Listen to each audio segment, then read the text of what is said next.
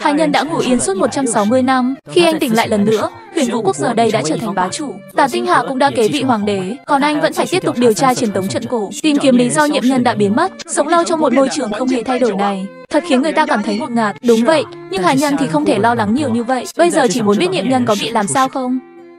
Nhà đầu à nhà đầu, ngươi thật biết cách khiến ta gặp rắc rối. Một phần phù văn ở đây đã bị người ta xóa bỏ, rõ ràng là không muốn để người khác biết về một số chuyện. Người nhất định không được xảy ra chuyện gì, nếu không, ta chắc chắn sẽ đau đầu lắm. Trước khi xác nhận nhiệm nhân an toàn, Hải Nhân vẫn không thể yên tâm. Thôi quên đi, lo lắng quá nhiều rồi, tốt hơn là thu hồi Tạ Hoàng mang đi an táng trước đã. Bệ hạ, để có thể thu nhận được ngươi, Hải nhân ta đã mất đến 90 năm để thu thập được nguyên vẹn. Chắc hẳn bệ hạ cũng sẽ không để ta làm việc này vô ích chứ. Hoàn tất việc đưa tiễn Tạ Hoàng, Hải nhân cũng đương nhiên nhận được hai phần thù lao. Đây chẳng phải là cử chuyển huyền công của huyền vũ quốc sao? Ngoài ra, ta dường như đã gặp được vật này ở đâu đó rồi. Bệ hạ, người làm vậy thật sự không có chút gì chính đáng đâu. Thì ra, trước đó đã có người đến đây rồi, họ còn mang đi vài thứ nữa. Trước đây ta còn thắc mắc, bệ hạ chưa từng đến đây thì làm sao biết bên trong cấm địa có một tòa thanh đồng cổ điện. Giờ đã có cửu chuyển huyền công làm bằng chứng. Câu hỏi này coi như đã được giải đáp rồi. Nếu không phải tại Tà Hoàng tìm thấy được phần đầu của cửu chuyển huyền công, em rằng sống thêm một vạn năm, Hải Nhân cũng sẽ không biết. Đây là một phần khác của cửu chuyển huyền công. Bệ hạ, không biết ngươi hiểu biết bao nhiêu về hoàng cổ cấm địa. Em rằng trên đời chỉ có ngươi tự mình biết. Nhưng giờ ngươi đã chết rồi, nhưng bí mật này cũng đã hoàn toàn bị ngươi đưa vào quan tài. Quả thật có chút đáng tiếc. Nói xong, Hải Nhân quay người đi về phía thanh đồng cổ điện. Cuối cùng thì truyền tống trận cổ này cũng đã hoạt động trở lại. Cũng không biết sau khi truyền tống sẽ ra sao, ta có thể gặp được nàng ấy không? Hải nhân nuốt một giọt nước dãi còn sót khi đang ngủ, sau đó trực tiếp nằm vào quan tài, biến mất khỏi thế gian này. May mà ta đủ cẩn thận, nếu truyền tống bằng cái thân xác này, thì có lẽ giờ này, hai nhân ta ngay cả cặn bá cũng không còn. Hử, đây là nơi nào? Đây là thập vạn đại sơn. Ngươi là ai? Ta là người ngoại lai tới, ta không quen thuộc với ngôn ngữ của các người. Chúng ta giao tiếp bằng thần thức được không? Đại tiên nhân, Bạch Vu tộc xin kính chào. Họ không phải đã xem ta là một nhân vật vĩ đại nào đó rồi chứ Xem ra ta không thể rời đi được nữa rồi Thần sứ đại nhân xin mời dùng Ta một mình không ăn hết được nhiều như vậy Người cũng ăn chút đi Nếu người không ăn Thì chỉ bằng dạy ta một chút ngôn ngữ ở đây đi Tiếng nói của các người, ta nghe không hiểu lắm. Mẹ mơ, theo thời gian trôi qua, cuối cùng Hải Nhân cũng có thể hiểu được ngôn ngữ ở đây, đồng thời cũng đã hiểu rõ tình hình ở đây, cũng đã thử nghiệm đủ kiểu trận pháp. Được rồi, hôm nay tạm thời đến đây thôi. Anh Mạn, muội về phòng nghỉ ngơi đi. Thần sứ đại nhân. Cầu xin người hãy cứu giúp Bạch Vu tộc. Cứ thế này nữa thì Bạch Vu tộc chúng ta sẽ bị những hắc vu tộc thôn tính mất. Ta không rõ lắm về chuyện của các người, nhưng ta có thể giúp các người hòa giải một chút. Còn liệu có thành công hay không thì phải xem ý trời thôi. Ta cũng không dám đảm bảo. Mê mơ, đa tạ thần sứ đại nhân. Thần sứ đại nhân, phía trước chính là trại của bộ tộc Hắc Vu. Mau đi gọi trưởng lão của Hắc Vu tộc các ngươi ra đây đi. Nói rằng thần sứ đại nhân đã đến rồi. Mê mơ, chúng ta hiện đang ở trên lãnh thổ của kẻ thù.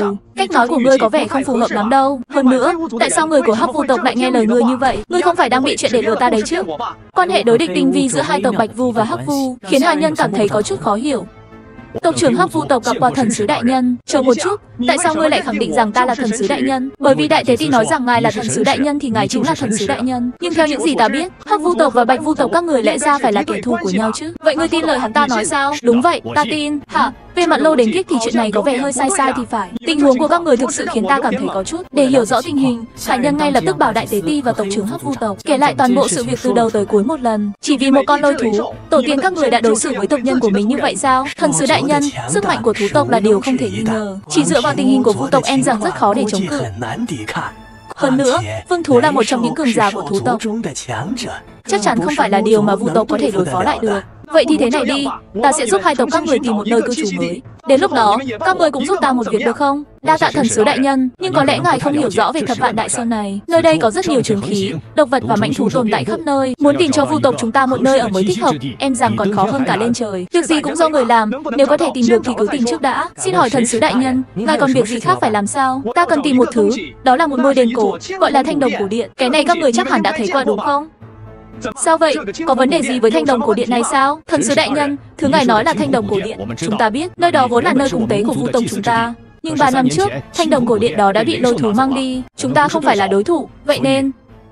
Vậy trong các người có ai biết lôi thú đang ở đâu không? Ta biết lôi thú ở đâu, để ta dẫn ngài đến đó. Anh Lực, người biến đi. Người lớn đang nói, trẻ con không được xen vào. Cha, Ta đã 16 tuổi rồi, tháng trước mới tổ chức lễ trưởng thành. Ta không còn là trẻ con nữa, ta muốn cống hiến cho bộ tộc. Hơn nữa, chỉ ta mới hiểu rõ tình hình ở thủy nguyện động thiên. Ta là người dẫn đường tốt nhất. Thôi được rồi, được rồi, vì ngươi đã nói như vậy. Ngươi hãy dẫn thần sứ đại nhân đến thủy nguyện động thiên đi. Anh lập phấn khởi bước đến trước mặt Hà Nhân, nhưng điều hắn không biết là người nam nhân sẽ thay đổi cuộc đời hắn. Thần sứ đại nhân, ta đã chuẩn bị sẵn sàng, chúng ta sẽ khởi hành khi nào? Bây giờ luôn đi. Thần sứ đại nhân, chúng ta đừng bay quá cao, nếu không sẽ bị hung thủ tấn công. Anh Lực vừa chỉ đường cho Hải Nhân, vừa nói cách để tránh những nguy hiểm trên đường đi. Không thể không nói, nhưng lời khuyên của anh Lực thực sự rất hữu ích. Thần sứ đại nhân, ngài có thể giúp vu tộc thoát khỏi tình cảnh này, có phải không? Ta chỉ có thể giúp vu tộc các ngươi ở một số mặt nào đó. Việc có thể thoát khỏi tình cảnh này còn phụ thuộc vào nỗ lực của tộc các ngươi. Mọi việc trên thế gian này, cầu người không bằng cầu mình. Hơn nữa, ta đối với vu tộc các người cũng chỉ là một người qua đường mà thôi. Ta sẽ không ở lại đây mãi mãi được. Sau này, các ngươi chỉ có thể tự dựa vào bản thân. Nói rồi, Hải Nhân và Vu Lực đến trước một cái động thiên. Tu sĩ nhân tộc, hạ Nhân xin gặp, nhân tộc hèn mọn cút. Thần sứ đại nhân, người không sao chứ? Không sao, nhưng có một điều ta muốn nói với ngươi. Ta tạm thời không có ý định rời đi, khi nào thì bắt được con lôi thú này? Khi đó ta mới rời khỏi thập vạn đại sơn. Các người nghĩ ta là thần sứ đại nhân, vậy các người cũng nên tin vào năng lực thực sự của ta. Ta muốn trong vòng 10 năm bắt được con lôi thú ở thủy nguyệt động thiên. Nếu các người tin rằng ta có thể thắng, vậy thì nhất định ta có thể thắng. Nếu các người cho rằng ta không thể thắng, vậy thì các người nên rời đi càng sớm càng tốt, tránh để đến lúc đó liên lụy người vô tội. Thần sứ đại nhân, ngài hãy ăn chút linh của cho hạ hỏa đi. Sau này đừng gọi ta là thần sứ đại nhân nữa. Sau này cứ gọi ta là hạ nhân đại ca đi. Ngoài ra, chuyện về lôi thú là chuyện riêng giữa ta và nó, sẽ không liên quan đến vu tộc. Vậy nên các người cứ yên tâm. Hạ nhân đại ca, khi còn nhỏ, ta đã nghe nói rằng bên ngoài dãy núi kia còn có một thế giới khác. Nhưng cả vu tộc, không một ai biết được thế giới bên ngoài như thế nào. Chắc hẳn Huynh đến từ thế giới bên ngoài. Huynh có thể cho ta biết thế giới bên ngoài như thế nào không? Ngoài thập vạn đại sơn là một thế giới vô cùng thú vị, nhưng ta khuyên muội không nên tìm hiểu thế giới bên ngoài. Tại sao chứ? Bởi vì thế giới bên ngoài nguy hiểm hơn nhiều so với động vật và hung thú trong thập vạn đại sơn này. Trong thế giới bên ngoài, đôi khi cái chết lại được coi là một sự giải thoát. Giao vỏ cây này cho tộc trưởng cổ lực, để ông ấy bố trí theo những gì trên đó. Còn về bức tượng gỗ này, ta sẽ tặng nó cho muội. Kể từ khi ta đến đây, muội đã luôn nhìn chằm chằm vào nó. Điều đó khiến ta cảm thấy có chút ngại ngùng. Hãy nhân đại ca, ta thật không có. Có hay không? Chẳng lẽ ta không nhìn ra sao? Chỉ là một món đồ gỗ bình thường, không phải là thứ gì to tát cả. Nếu muội muốn thì cứ lấy về chơi đi. Đa tạ Hải Nhân đại ca. Hay hay hay hay, nhìn bóng lưng của anh Mạn, Hải Nhân cười từ tận đáy lòng. Nhưng mối quan hệ rối ren không thể cắt đứt cũng bắt đầu nảy mầm.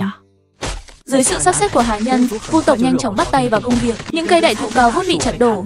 Nhiều hoa văn kỳ lạ được tộc Vu tộc dùng công cụ khai quật ra. Thần sứ đại nhân, những thứ này có thể đuổi được lôi thú không? Không thể nào. Đây chỉ là tụ linh trận đơn giản mà ta đã cải tiến ra. Trận pháp này không chỉ có thể tụ tập linh khí, mà còn có thể che chắn trường khí trong thập vạn đại sơn. Bất quá, ta hiện tại cũng đã có cách rồi. Hai cuốn công pháp này các người hãy lấy đi dùng trước đi, chờ khi sức mạnh của các tộc nhân được nâng cao rồi tính tiếp. Ngoài ra, có thể các ngươi không hiểu những chữ ta viết. Ý nghĩa trên này, ta đã giải thích rõ ràng với anh bạn rồi. Các ngươi chỉ cần hỏi cô ấy về tình hình cụ thể. Không có lý nào, tại sao cửu chuyển huyền công lại không luyện thành được chứ?